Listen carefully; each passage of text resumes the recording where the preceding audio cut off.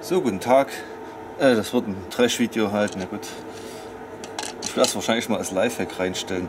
Hier, ich habe den Arduino bestimmt 20 Mal umprogrammieren müssen. Da muss ich den halt immer rausmachen. Und eines schönen Tages passierte dann das beim Rausziehen. Ist mir das grüne Kabel hier abgerissen. Und da habe ich das doch einfach hier in den Kontakt gesteckt. Hä? Professoren halten am längsten. Na gut, so, ging's, so gut ging es nie. Das ist die Triggerleitung für den äh, magnetischen Kompass, der hier drin steckt. Und ich will das jetzt mal schick machen. Ich werde es mal aufnehmen. Vielleicht mache ich einen Zeitraffer drauf. Vielleicht lösche ich es auch dann kommentarlos wieder mal. Wer weiß. Egal. Macht das halt nur so zum Spaß. Okay, dann werden wir mal das ganze Ding auseinanderbauen.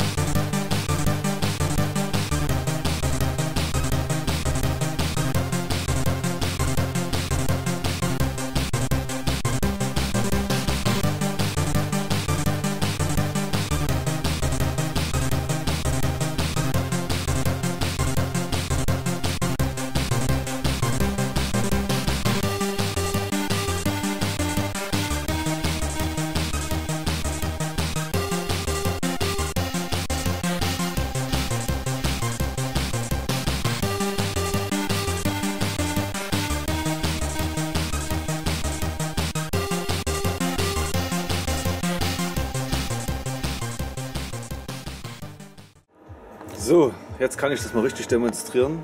Also ich habe meinen Kompass hier auf mein Stativ gestellt. damit kann ich den drehen.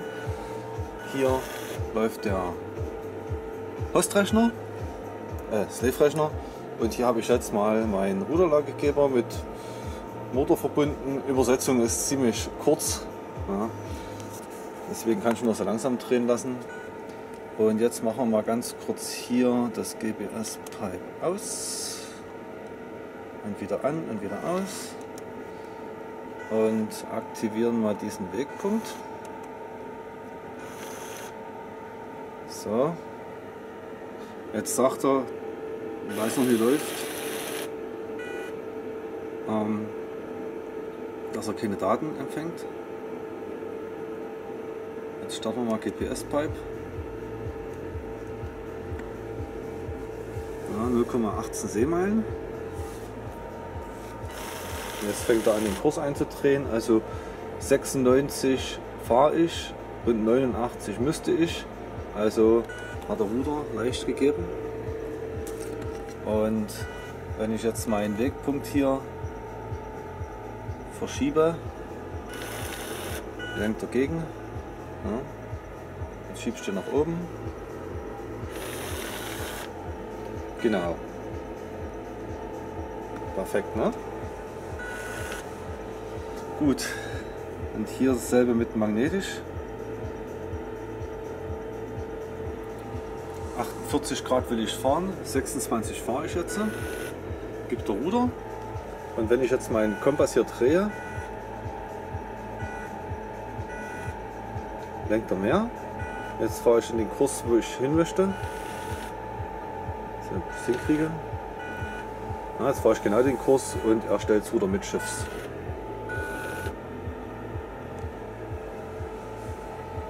Genau. Das Problem ist, wenn ich jetzt mit meiner Kamera hier dem Kompass nahe komme, dann äh, sieht man wieder Kurs sich ändert. Also ich weiß nicht, ob man das sieht. Moment. Genau, wenn ich jetzt dem nahe komme, dann sieht man, wie der Kurs sich ändert, weil die Kamera halt leicht Magnetfeld hat. Ähm, deswegen eiert er ein bisschen hin und her jetzt. Jo, so funktioniert das im Prinzip. Ja, das ist im Prinzip so das Setup. Geht klar. So, nochmal zur Illustration. Ich habe das jetzt mal ein bisschen asymmetrisch gesetzt. Also mein Rudermittelpunkt, äh, Entschuldigung, ich habe gerade Bremsen gewechselt.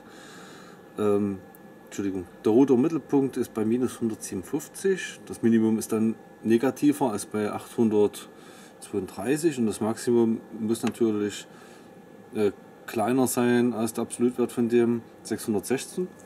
So, jetzt drehe ich ja mal. Sekunde, ich kann nicht drehen, weil der Motor an ist. Machen wir aus. Sorry, Test. Off.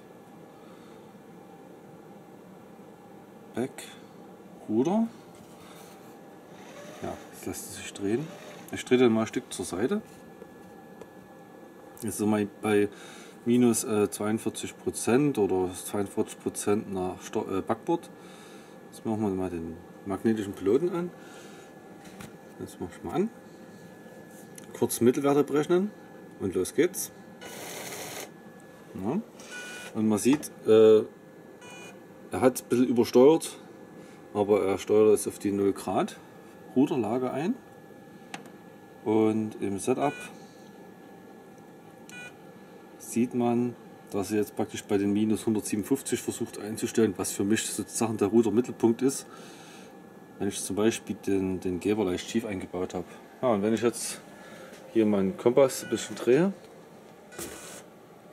kriege ich das irgendwie beides drauf. Ich mache mal kurz hier in das Fenster.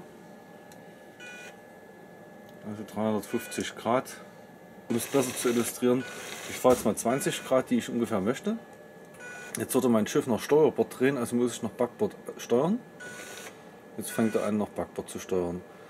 Ähm, dass, dass der so übersteuert ist richtig. Also ich drehe jetzt mal schnell. Und jetzt steuert er gleich wieder zurück. Das ist, weil der die Drehrate des Schiffes mit in die äh, PID-Regelung eingehen lässt. Praktisch, wenn sich das Schiff schnell dreht, schnell aus dem Kurs läuft, steuert er mehr gegen. Und wenn äh, das Schiff sozusagen langsam nur aus dem, Schiff, äh, aus dem Kurs dreht, wie jetzt, jetzt drehe ich langsam zum Kurs wieder hin, regelt er langsam zurück, jetzt geht es langsam wieder aus dem Kurs raus. Jetzt fängt er gleich an, langsam wieder gegenzusteuern.